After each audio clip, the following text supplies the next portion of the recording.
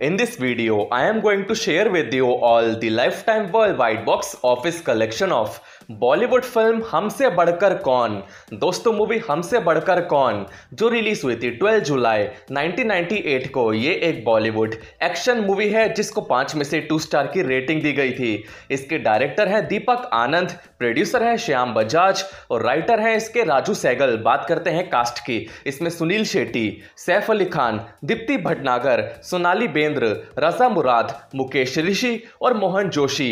ये सब इसमें लीड रोल में और सपोर्टिंग रोल में नज़र आए थे। फ़िल्म के अंदर सैफ अली खान और सुनील शेट्टी, दोनों ने भाई का रोल निभाया था। बात करते हैं इसके कलेक्शंस की। फ़िल्म का इंडिया का लाइफ टाइम जो नेट कलेक्शन था, वो था two crore thirty lakh rupees का, दो करोड़ तीस लाख रुपए का। इंडिया का लाइफ टाइम जो ग्रॉस कलेक्शन था ग्रॉस कलेक्शन जिसमें टैक्स इंक्लूड हो जाता है, वो था three crore ninety five lakh rupees का। इंडिया से बाहर ओवरसीज मार्केट में आठ लाख एट लाख रुपीज़ की कलेक्शन की थी और सब कुछ इंक्लूड करके फ़िल्म का लाइफ टाइम वर्ल्ड वाइड जो टोटल ग्रॉस कलेक्शन था, वो था चार करोड़ तीन लाख रुपए का four crore three lakh rupees का।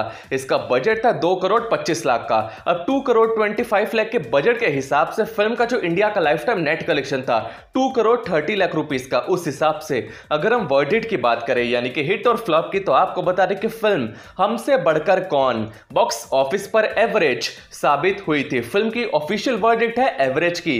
गानों की बात की जाए तो फ़िल्म की गानों की एल्बम में टोटल पाँच गाने थे। गानों को कंपोज किया था विजू शाह ने और गाने के जो लिरिक्स होते हैं वो लिखे थे फैस अनवर ने। तो चलिए दोस्तों, इसी के साथ इस वीडियो में फ़िलहाल इतना ही। मैं हूँ जतिन, आप सबका दोस्त और मेरे इस चैनल बॉलीव्यूज का होस्ट।